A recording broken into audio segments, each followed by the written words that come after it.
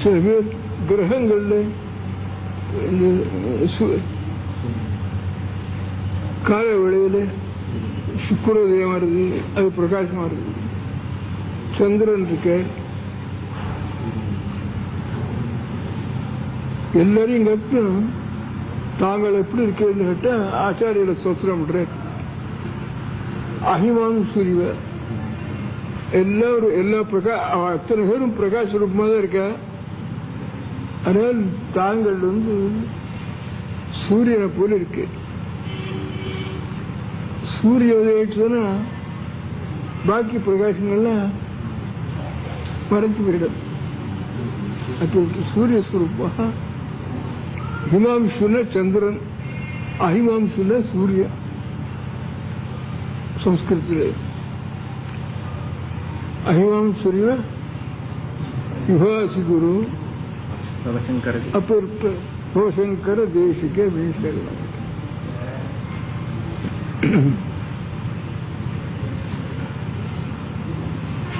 அவர் வந்து தோட்டக்காச்சாரியர் குதிச்சுண்டு இந்த கை தாளம் போட்டுண்டு தாளம் போட்டது சரியா இருக்கு இந்த சொல்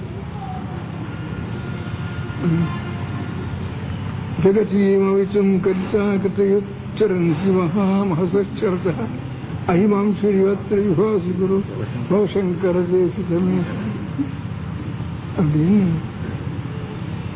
எல்லாம் பிரகாசம் மகான்கள் எத்தனையோ பேருந்து லோகானுகிரகத்துக்காக வர அவ்வளவு பிரகாசத்திலையும் சூரிய பிரகாஷம் மாதிரி அப்படின்னு ஸ்தோத்திரம் வந்து வர வந்த உடனே பாக்கி விஷயம் அடிக்கல ரொம்ப மனசுக்கு நான் பிடிக்கும் ஒரு ஒன்றும் தெரியாதுன்னு நினைச்சோமே அப்படின்னு விழுந்து விழுந்து ஆச்சாரியோட நமஸ்காரம் பண்ற தோட்டக்காச்சாரிய நமஸ்காரம் பண்ற எல்லாரையும் எல்லாரும் ஸ்தோத்திரம். இந்த சங்கர ஜெயந்தி புண்ணிய காலத்தில் ஆதி சங்கராச்சாரியுடைய முக்கிய சிஷ்யாலெல்லாம் நாம் தியானம் பண்ணினோம்னா மகா விசேஷம் அதே நமக்கு அடியாருக்கடியேன்னு தமிழ்கள் இருக்கு அடியாருக்கும் அடியேன்னு. இந்த ஆச்சாரியாருக்கு இந்த ஷண்மத ஒரு பேர். ஆறு மொத்தம்னு சொல்றது.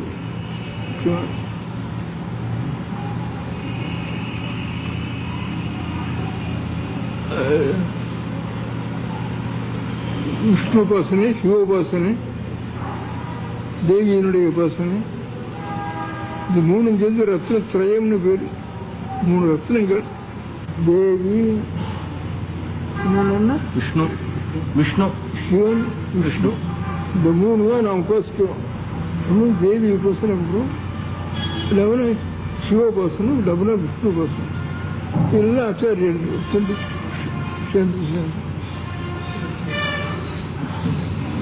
இந்த காஞ்சி கஷேத்திரத்தில் ஒன்று தான் மூணும் இருக்கு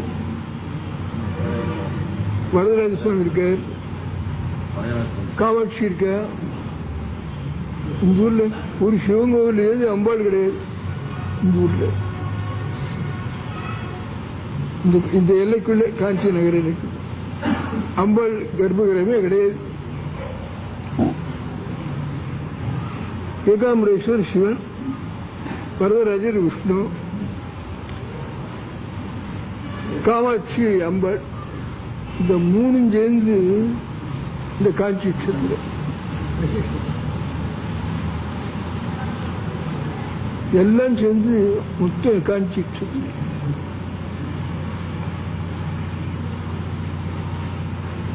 நான் சில புஸ்தகங்களில் பார்த்திருக்கேன் சில புஸ்தகங்கள்ல ஆச்சாரியர் காஞ்சி கஷேத்திரத்தையே முத்து கஷேத்திரம்னு இங்க வந்து விஜயடைஞ்சார் ஒரு புஸ்தகத்தை பார்த்திருக்கேன் சுப்பிரமணிய சுவாமி இருக்கார் குமரகோஷ்டம் இருக்கார் குமரகோஷ்டத்தில் சுப்பிரமணிய சுவாமி கூட இருக்காரு எல்லா சுவாமிக்கும் முக்கியமான கஷேத்திரம் காஞ்சி கஷேத்திரம்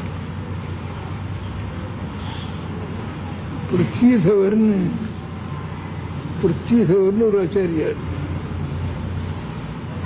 அந்த பிருத்திதவாச்சாரியார் அவளும் காஞ்சியிலே வந்து ஆச்சாரியால் காமாட்சி பிரதிஷ்டை பண்ணிட்டு இங்கே சித்தடைஞ்ச உடனே பிருத்திதவரும் இங்கே வந்து இங்கே பிருத்திதர பாரதின்னு பேர் அவர் அவளும் சித்தடைஞ்சிட்டார்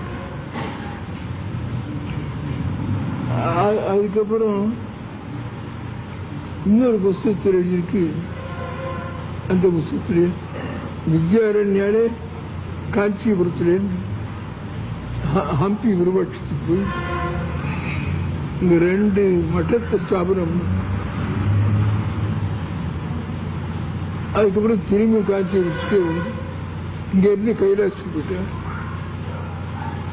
இன்னொரு புஸ்தகத்தில் அது எல்லாம் பிரமா பிர- சரியா இருந்ததுன்னா ஆச்சாரியர் பிருத்திகரர் வித்யாரண்யர் எல்லாருமே இந்த காஞ்சி கஷேத்திரத்தில் மோட்சத்து பாக்கி எல்லா க்ஷேத்திரங்களும் உத்தர தேசத்தில்